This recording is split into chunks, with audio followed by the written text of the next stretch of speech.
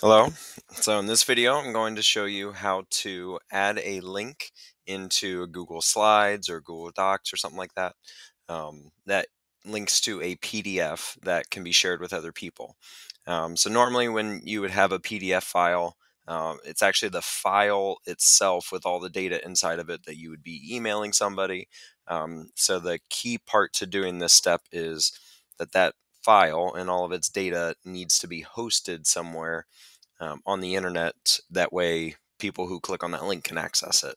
Um, so, um, the probably the easiest way to do this is if you are working in Google Slides or Google Drive, is that you um, upload that file to Google Drive. So that's the first thing I'm going to do is go to my Google Drive.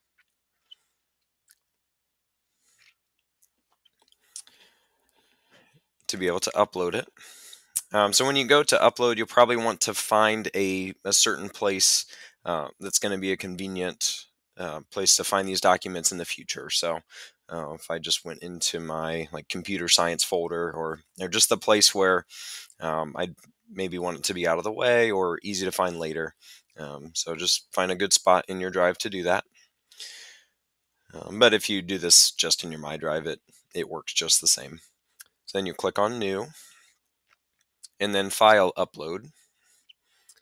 So I'm assuming that your file is probably in your downloads, but otherwise you would look through somewhere, uh, maybe in the documents or the desktop of where it's located. Um, but mine happens to be in my downloads folder because it's something I just downloaded. You know, maybe you downloaded it from your uh, from Gmail or something like that.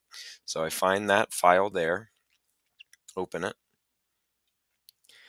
All right, and then it's going to work on doing the uploads, and, and now it says that the upload is complete. Um, so it's at least in the internet somewhere, but it's not able to be accessed by anybody.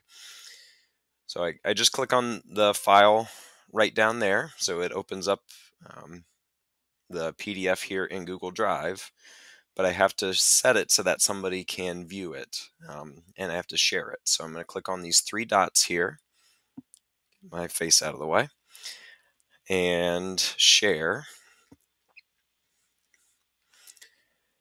And then you're going to want to use the get link option here.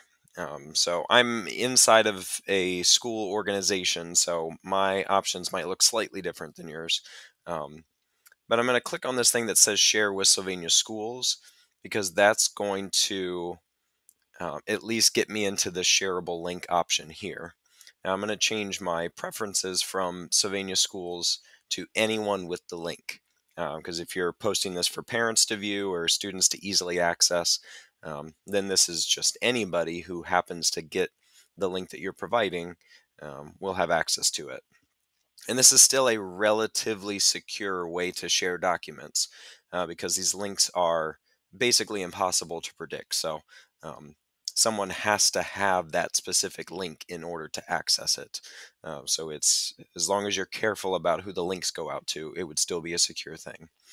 You'll almost definitely want to keep this as viewer, possibly change it to editor, but I, I doubt it. You're you're going to want that to say viewer there. Um, I'm going to go ahead and click on this copy link button right here. And it tells me that my link is copied, so it's almost like I did a control C there and then click done just to get out of this window. All right, so now in my control C in my clipboard, um, I have that link that I can do something with. So let's say I want to add that link to a Google Slides. Uh, so you have, you know, click some kind of text, click here to see the school calendar, you know, whatever it is. And I want to highlight the word here And then if I right click, there's always other ways to do this, and link, now, then I'm going to paste that link in. So if I right click again or control V and paste, that should be the link that um, I just got. So I'll say apply, but you might want to just double check. Go ahead and click on it, try to follow it through.